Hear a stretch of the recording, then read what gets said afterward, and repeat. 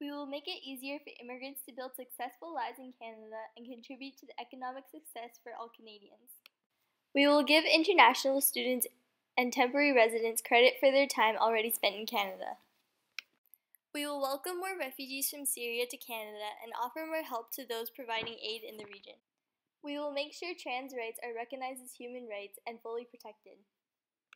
Since greenhouse gases are the issue for climate change, we will higher the prices on fossil fuels and highly encourage the use of more economic friendly methods.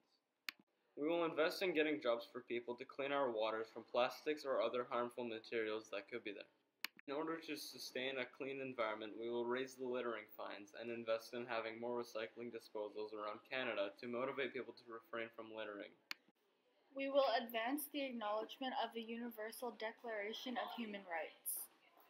We will refocus our development assistance on helping the poorest and most vulnerable. We will ensure that our programs and services will successfully provide protection against crime. We will expand export opportunities that benefit Canada. We will strengthen the employment insurance system to make sure that it works for our economy all over Canada. Canada. In a changing economy, Canadians need more opportunities to improve their skills and upgrade their certificate.